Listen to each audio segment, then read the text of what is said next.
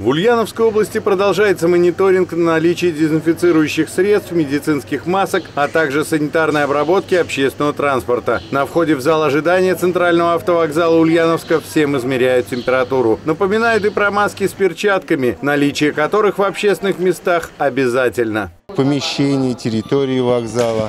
Значит, э, каждые два часа у нас э, работники э, выходят, моют полы, протирают спе- специальным э, хлористым раствором, протирают ручки, подоконники.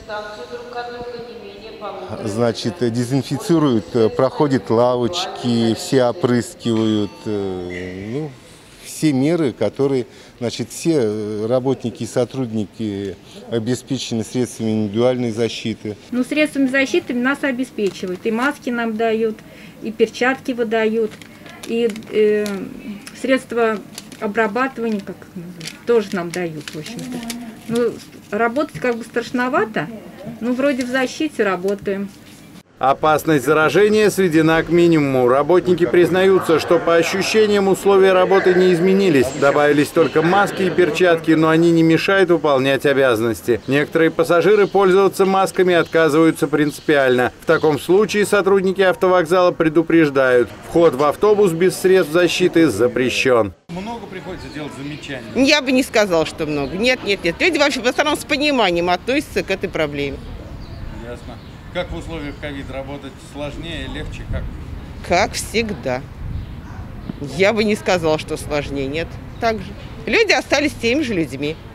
Все же некоторые ульяновцы игнорируют призыв надеть маску. Одна из посетительниц даже устроила скандал на входе, отказываясь надевать маску. Очень жаль, что полицейских, обеспечивающих соблюдение правопорядка на автовокзале, не оказалось рядом. Все же большинство пассажиров относятся к новым правилам с пониманием. Ну, Я думаю, они, они очень важны, особенно в общественных местах, где вот, например, вокзал. Людей очень много, и производится дезинфекция, люди масочки одевают, перчаточки.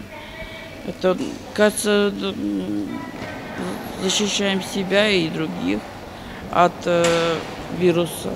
Минздрав и правительство Ульяновской области рекомендуют вам воздержаться от увеселительных поездок. Однако, если вам нужно отправиться куда-то по неотложному делу, Ульяновский автовокзал готов вас принять. Территория здесь постоянно моется и дезинфицируется.